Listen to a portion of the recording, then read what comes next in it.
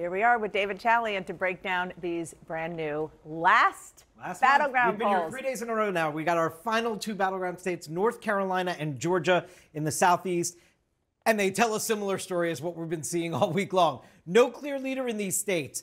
It's a one point race in each of them. In Georgia, among likely voters, our brand new poll shows Trump at 48% support, Harris at 47% support.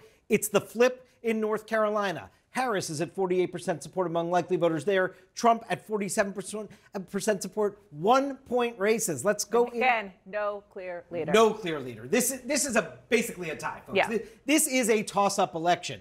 Let's go inside Georgia first in terms of some of the coalition groups here. Independent voters, and again, I just want to say we're comparing likely voters in a poll and to what actually happened with voters in the 2020 exit polls. These are two different universes, but instructive. Among independent voters in our poll, Trump has a seven-point advantage in Georgia. In Georgia in 2020, Biden won independent voters by nine points. So that's a potential warning sign there for Harris. Black voters in Georgia in our poll, 71% eh, percentage point advantage over Trump for Harris. That's about where Biden was. He was at 77 points in the exit polls in terms of his advantage over Trump. White non college voters down in Georgia, Trump has a 66 Wow. percentage point advantage in our poll. That is his base. We should expect it. It's actually even bigger than his advantage was in Georgia in the exit polls, but in that range. In North Carolina, let's look at these same groups here. Among independent voters, Harris has a four point advantage over Trump in our poll. That's where Biden was with independent voters in the exit polls in 2020. Remember, he lost North Carolina in 2020 Yes, by a narrow margin. Black voters, uh, 59 Wow. percentage point advantage. This Wow. is a huge potential warning sign. Wow. In the in the exit polls, and he Biden won black vote in North Carolina by 85 percentage points. Uh, Harris, this this is something she's going to want to watch for in the closing days. And then you see the white non-college here. This is perhaps a little bit of diminishment of support among Trump's base than he had four years ago. Also in North Carolina, that governor's race. You all remember the story about Mark Robinson, of course. Uh, his support plummeted. He's at 37%. Josh Stein is likely to be the next governor, a Democrat in North Carolina. And some Democrats say having this race off the map uh, was a detriment to them keeping every Democrat in North Carolina enthused. Yeah, which is a little bit counterintuitive, Right. you would think, but you know, uh, who's left to win over? Well, take a look at this. So 95% in both states, mine made up. Obviously, there's this small universe, but we just heard our Ebony Davis ask Vice President Harris when you were playing the sound before, what is your argument to these final movable voters? And her answer was immediately about the economy and bringing prices down. And then, Dana, we take a look at those voters who tell us they've already voted. So, among those in these states who tell us they've already voted, in Georgia, that's 59% of the folks in our poll. Harris wins them 51% to 44%. In North Carolina, 52% of our poll respondents tell us they already voted, so again, a majority. And Harris is winning them here 51% to 45%. I will just note, these are closer among those that tell us that they've already voted for Harris than we see in those blue wall states uh, where she had more of an advantage with those who tell us they already voted, Dana. So interesting. I'm over here now, David. Thank you so much Thanks. for doing this. That's, we are off uh, what our uh, friend Lisa Lerer at the New York Times calls the polar coaster now. One more thing, though. As of this hour, the total number of early voters, this is actual voters, crossed the 60 million mark. 60 million. That likely means well more than one third of Americans who intend to vote already have voted. Let's break all of this down with my great group of reporters here CNN's Phil Mattingly, CNN's Kristen Holmes, Laura Barron-Lopez of the PBS News Hour.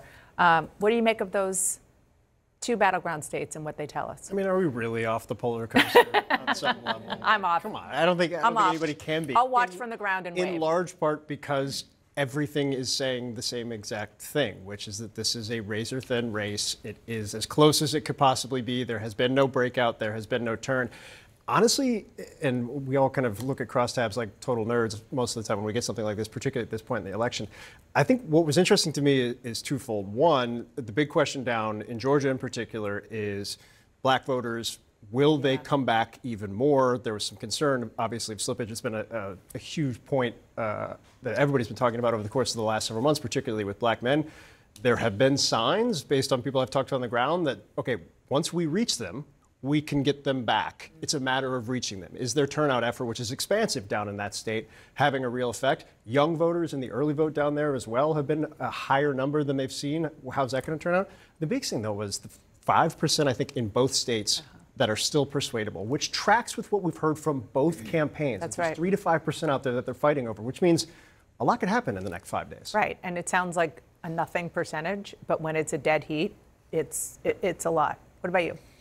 I think the most striking thing to me was those North Carolina numbers among white, non-educated voters for Donald Trump. Uh, there was a roughly 20-point gap there between 2020 and 20 uh, and now. I think that really goes to show you why Donald Trump has spent so much time in North Carolina in recent days and leading up to the election. We know he's going to have several more stops in the state.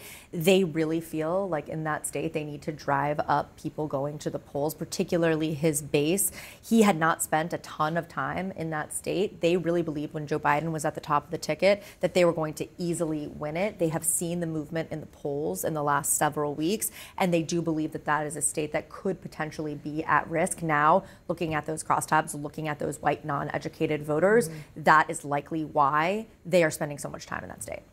Yeah, I mean, black voter turnout might be down a little bit right now in those states, and that is certainly a concern for Harris. But they probably are looking at those numbers you just mentioned and are happy about that, hope, hoping that you know she's driving up turnout in the suburbs in states like North Carolina. They like it when they see big suburban turnout. Uh, also, right now in early voting, women are leading men by I think double digits, and that's a big deal for Harris because she clearly is betting that women are going to turn out more for her than for Trump. I'm glad you mentioned that. Let's look at the actual early voting uh, in these key states.